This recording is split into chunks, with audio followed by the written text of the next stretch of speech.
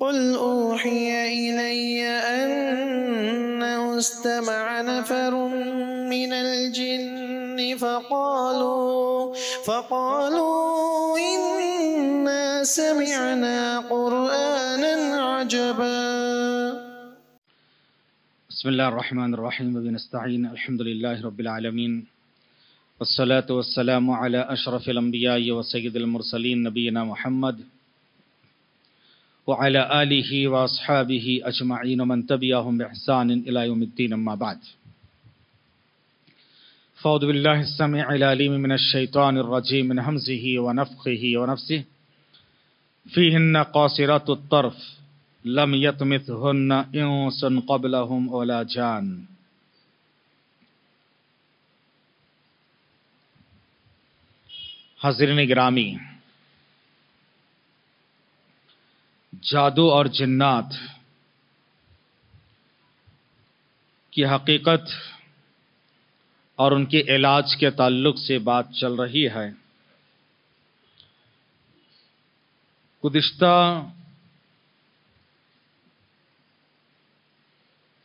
दुरूस में हमने ये मालूम किए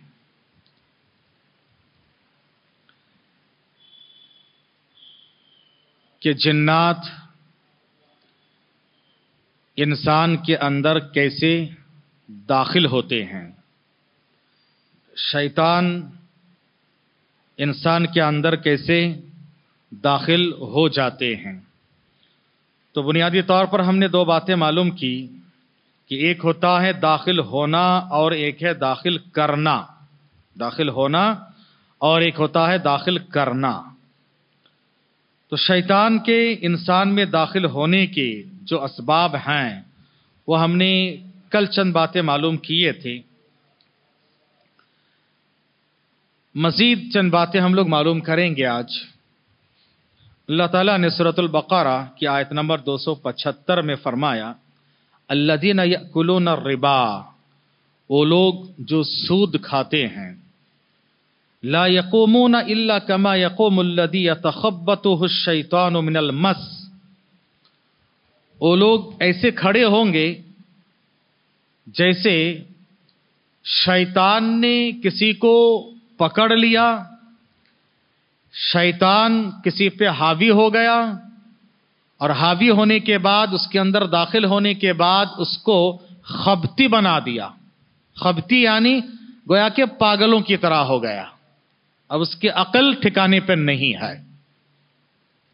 इस आयत की तफसीर में अहल इल्म ने लिखा है कि शैतान बाकायदा तौर पर इंसान के जिस्म के अंदर दाखिल हो सकते हैं। बहुत मशहूर और मारूफ हदीस है, सही बुखारी की, कि प्यारे नबी सल्लल्लाहु अलैहि वसल्लम एहतिकाफ में तशरीफ़ फरमा थे। आपकी बीवी हज़रत सफ़िया रदी अल्लाह अनहा आपकी आपकी खिदमत के लिए आई हुई थी और बातचीत करते हुए, खिदमत करते हुए थोड़ी ताखिर हो गई। तो अंधेरा छाने लगा। तो नबी सल्लल्लाहु अलैहि वसल्लम ने कहा कि ठीक है, चलो हम थोड़ी देर छोड़ देते हैं आगे। हुजरे तक पहुँचा देते हैं। आप सल्लल्लाहु अलैहि वसल्लम जब अपनी बीवी के साथ चल रहे थे, दूर से दो साहब इकराम, एक तो थोड़ा सा अंधेरा छाया है, और दूर से दो साहब इकराम नबी को देखें कि बीवी के साथ है तो उन्होंने रास्ता बदल के चलने लगे या वापस जाने लगे। मुरुवत में कि नबी सल्लल्लाहु अलैहि वसल्लम के साथ खातून है। चलो अब नबी सल्लल्लाहु अलैहि वसल्लम के सामना ना करें। नबी सल्लल्लाहु अलैहि वसल्लम ने देखा कि वो दोनों मुझे देखकर कनी काट के जा रहे हैं। आपने फरमाया, अला रिसलिकुमा रुक जाओ रुक जाओ, ठहर जाओ। आप सल्लल्लाहु अलैहि वसल्लम करीब गए। करीब जाने के बाद कहा, ये मेरी बीवी सफिया हैं। साहबा ने कहा, अल्लाह के रसूल सुबहान अल्लाह, आप पर शक हो ही नहीं सकता।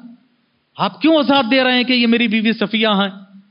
तो नबी ने उस मौके पर फरमाया इन न शैतान यकीन शैतान यजरी का मजरा दम और कमा कौल रसोल्ला कि शैतान इंसान के रगो रेशे में जैसे खून दौड़ता है, शैतान भी दौड़ता है। साफ़ बात है ना? शैतान खून के अंदर दौड़ सकता है। और तुम्हारे दिलो दिमाग में गलत फहमी डाल के तुम्हारे ईमान को बर्बाद कर सकता है। इसलिए शक करना जैसे गलत है, शक का मौका देना भी गलत है। बदगुमानी जैसे गलत है, बदगुमानी का मौका देना भी गलत है। नबी ने वजाहत कर दी ताकि तुम्हारा ईमान बर्बाद ना हो जाए। जिससे क्या मालूम होता, शैतान इंसान के रगो रेशे में खून की तरह चल सकता है, दौड़ सकता है। मजीद दूसरी रिवायत से पता चलता है कि शैतान किस तरह से इंसान के अंदर दाखिल होता है।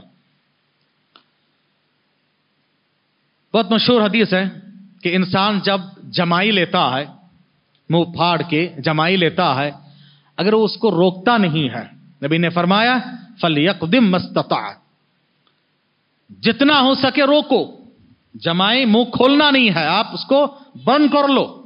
यानी नाक और मुँह दोनों आप बंद कर लो, दोनों को बंद कर लो।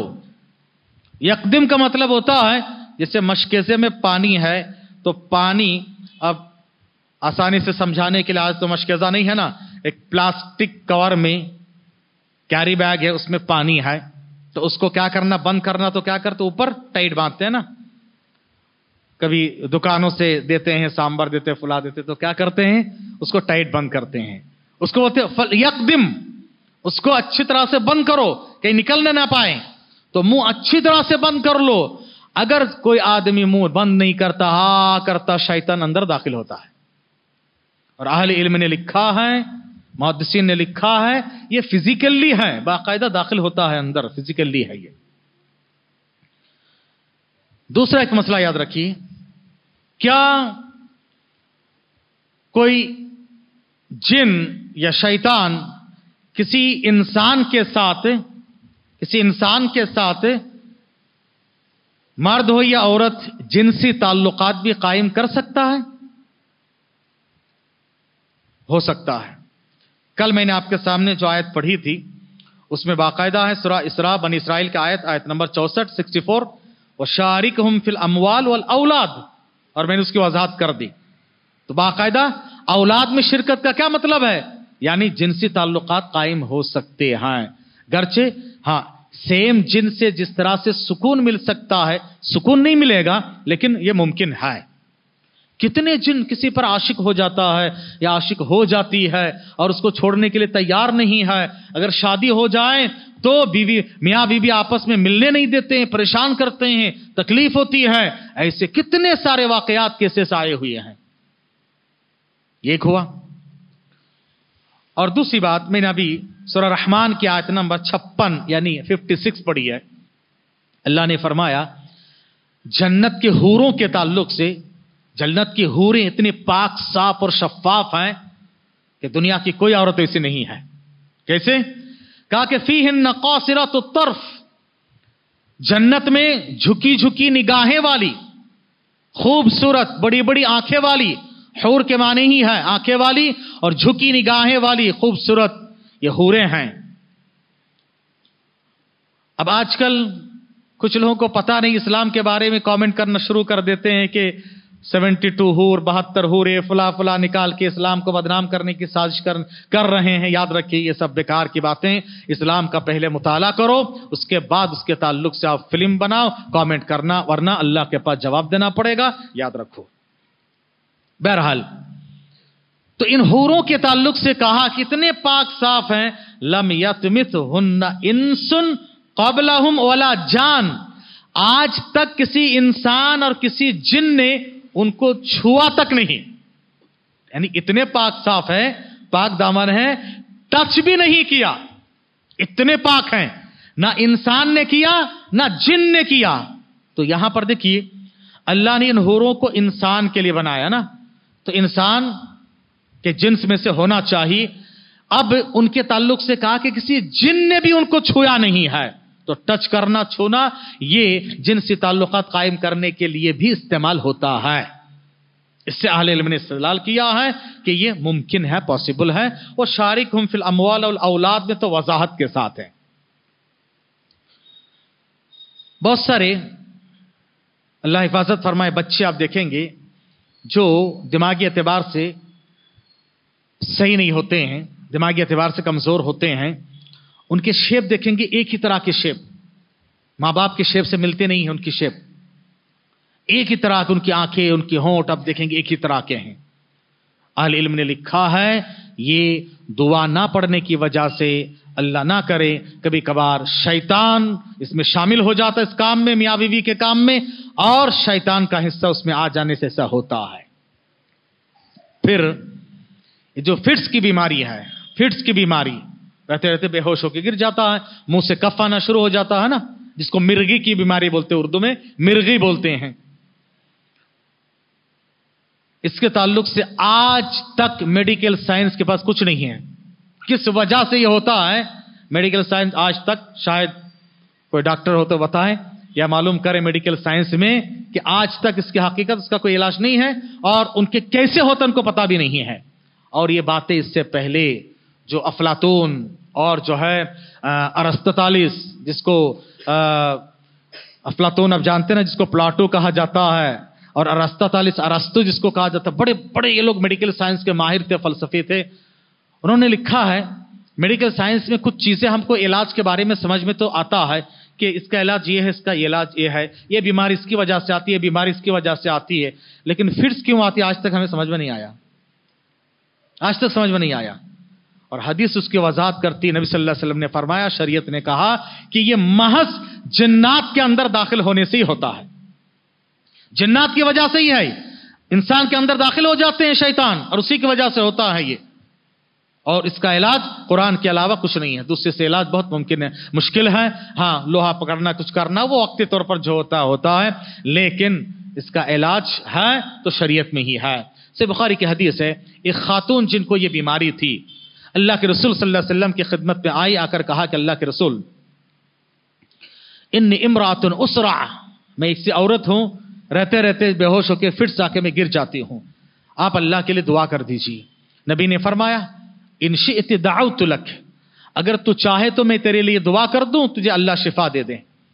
और अगर तू सबर करें, फलकिल जन्नत तेरे लिए जन्नत है। तो खातून ने कहा कि अल्लाह, के रसूल, इससे बढ़ के तकलीफ़ बर्दाश्त कर लूँगी, मुझे जन्नत चाहिए, मुझे शिफा नहीं चाहिए। जन्नत चाहिए। इतनी दुआ कर दीजिए कि जब मैं बेहोश होकर गिर जाऊँ, मेरे सतर ना खुलने पाए। अल्लाह अकबर। बेहो, बीमारी की हालत में, बेहोशी में काली, कलोटी औरत है वो। उसके बावजूद अपने सतर खुलना गवारा नहीं है। और आज होश हवस में रहकर, वो औरत जो ज़्यादा खूबसूरत है, वो लड़की ज़्यादा खूबसूरत है। वो ज़्यादा चाहती है कि मेरे जिस्म की नुमाइश हो। लोग देखे, देखो मैं कितनी खूबसूरत हूँ।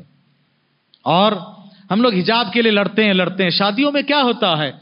यहाँ आमतौर से मशहूर है, माफ़ कीजिएगा। एक की शादी में अनेक का रिश्ता होता है। माफ़ कीजिएगा हाँ? एक की शादी में अनेक का रिश्ता होता है। यहाँ जाके बंठन के दिखाते, देखो मेरी लड़की ऐसी है, उसकी लड़की ऐसी है, वो ऐसी है। याद रखो, अल्लाह के वास्ते से काम मत करो। अब जाके हम कहते हैं कि भाई, हमें हिजाब चाहिए। अगर पलटा के पूछे, शादी ब्याह में तुम्हारा क्या हल होता तो क्या जवाब दोगे? तुम तो अपने महफिलों में करते नहीं हो। और हमारे स्कूल कॉलेज में आकर कहते हो कि हिजाब चाहिए। पहले तुम अमल करो, इसलिए सबसे बड़ा फितना है शरीयत से दूरी, शरीयत पे अमल नहीं करना। बहरहाल तो यह औरत जो फिर से आ जाती थी, उनका यही मामला था। बेहोश होके। उसके बाद देखिए, और शैतान के अंदर दाखिल होने के और भी जो असबाब है, उनमें से ये भी हैं। शैतान जो परेशान करता है आके और सताता है, एक होता है कि शैतान को हमारी जात से कोई तकलीफ़ हो गई। जिन्नात को, शैतान को, हमारी जात से कोई तकलीफ़ हो गई। मिसाल के तौर पर, आपने कहीं पेशाब कर दिया, उनका सुराख में, वो लोग थे, सुराख में। जयीफ हदीस आती है कि अल्लाह के रसूल ने फरमाया, सुराख में पेशाब मत करो। जयीफ हदीस है। अब इसी तरह से गैर आबाद घर हैं। वहाँ पर कुछ नज़र आया, सांप नज़र आया, कुछ भी आया, नबी ने फरमाया, घरों में सांप देखो तो पहले उसको कहो, अगर तो दूसरी मखलूक है, जगह खाली करके चले जा, अगर गायब हो जाए, छोड़ दो। नहीं, दिन तीन बार कहने के बावजूद भी, है तो मारो फिर। कभी ऐसा होता है कि वो लोग कहीं खाना खा रहे हैं, हमने कुछ गलत डाल दी। अब हमें मालूम नहीं है, फिर भी क्या करते वो इंतकाम लेते हैं। या उनके किसी बच्चे को हमने मार दिया है। उमराबाद में मेरे एक क्लासमेट और यहाँ के दो बड़े उलामा के एक भाई हैं। बहुत जहीन, हाफिज कुरान, उमराबाद में पढ़ते हुए उन्होंने काम कर दिया कि उमराबाद में एक सांप के बच्चे को मार दिया। सांप के बच्चे को मार दिया। छोटा बच्चा हम लोग उस वक्त कितने साल, बारह साल के थे? बारह साल के बच्चे थे उस वक्त। अब वो खेलते खेलते मार दिया। उसको क्या पता छोटा बच्चा भगा भगा के मार दिया। अब वो जिनका बच्चा था उसके बाद से उनसे जो इंतकाम लेना शुरू किए, उनको जो परेशान करना शुरू किए, अल्लाह अकबर, चेहरा नोच लेना, खूना खून हो जाना, ज़ोर ज़ोर से पुकारना, सारे इसमें बिल्डिंग में तकलीफ़, परेशानी सबके लिए। उसके बाद, रुकया करने के बाद पता चला कि उसने आकर कहा कि वो मेरा बच्चा था, इसने मार दिया, इसलिए मैं इंतकाम ले रहा हूँ। अगर ये उमराबाद आएगा, मैं नहीं छोड़ूँगा। उमराबाद से बाहर रहे मुझे कोई परवाह नहीं। कोई फ़िक्र नहीं। यहाँ मैं इसको दीनी तालीम पढ़ने नहीं दूँगा? इस तरह से किया। वो बेचारे वापस आए, दो साल के बाद फिर एडमिशन लिए, वही मामला है। फिर वापस आए, आकर एसएलसी टेंथ करने के बाद उमराबाद में स्पेशल कोर्स होता है। टेंथ करने के बाद मेरे ख्याल से फिर सात, आठ, सात, पाँच, छह साल के बाद गए, फिर वो हाल है। फिर भी वही हाल है। परेशान उनको देख के चेहरा ऐसा हो जाता, ऐसा कर देते थे। कोई आके कोई ब्लेड से चीर लिया है सारा चेहरा। तो ऐसे होता है कभी? तो हमें पता नहीं है, एहतियात करना चाहिए कभी शैतान क्या करता है। उसको तकलीफ़ हुई, उसको कुछ हुआ, कुछ परेशानी हुई तो उसकी वजह से वो इंतकामी कार्रवाई करता है। तो इन चीज़ों से हमें परहेज गुरेज करना चाहिए। हत्तल मकदूर हमारे बस में नहीं है, अल्लाह ताला माफ़ करने वाला है। अगर इंतकाम ले रहा थे, फिर उसको दूर किया जा सकता, भगाया जा सकता है। लेकिन कभी कभार कोई सख्त होता है, दस, पंद्रह, बीस साल के बाद भागता है, कोई भागने के लिए तैयार नहीं होता है। ये एक चीज़ है जो हकीकत में और प्रैक्टिकली देखा जाता है। अब आखिरी बात एक रहेगी, इंशाल्लाह आइंदा दस में जायजा लेंगे कि जिन्नात के तो हुआ दाखिल होने का, दाखिल करवाया जाता है। दाखिल करवाया जाता उसके लिए क्या क्या होता है, इंशाल्लाह आगे जायजा लेंगे। दुआ कीजिए रब्बुल आलमीन से अल्लाह तबरक हमें और आपको जादू जिन्नात के असरात से महफूज रखे। आमीन। सुबह अल्लाह हमदिका शहद अल्लाह अलैहि मोहम्मद।